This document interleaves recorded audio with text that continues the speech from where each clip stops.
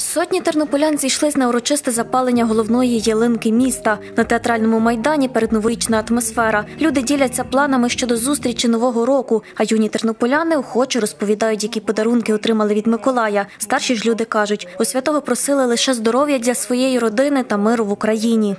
Хочу мирного неба над головою, хочу, щоб при- прикоротилася ті, ця війна, що там йде.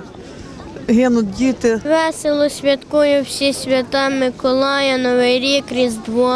Дуже подобається ялинка.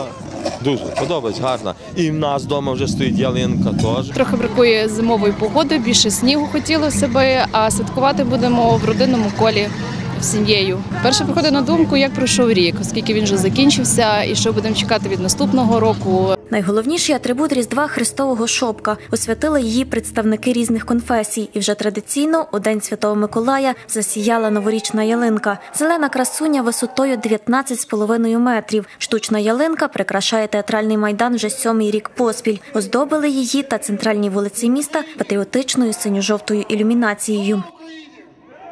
І вже символічно стало, що саме на свято Святого Миколая ми разом з тернополянами запалюємо вогні головної ялинки нашого міста тут, на головному майдані Тернополя. І я дякую сьогодні пластунам, які в черговий раз передали для Тернополя благодатний флеємський вогонь, від якого ми всі разом тут символічно зробили запалення вогнів нашої ялинки.